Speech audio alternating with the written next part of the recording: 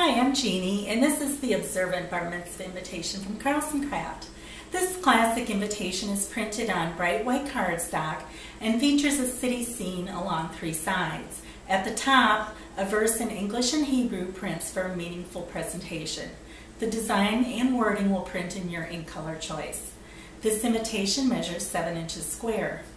The reception and response enclosures will print on single bright white stock with a matching design.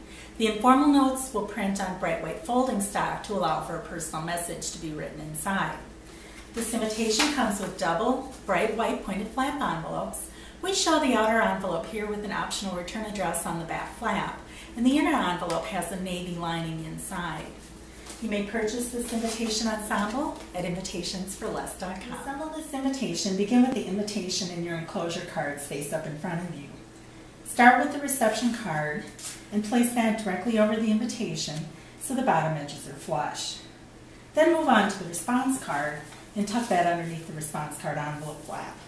Place that directly over the reception card.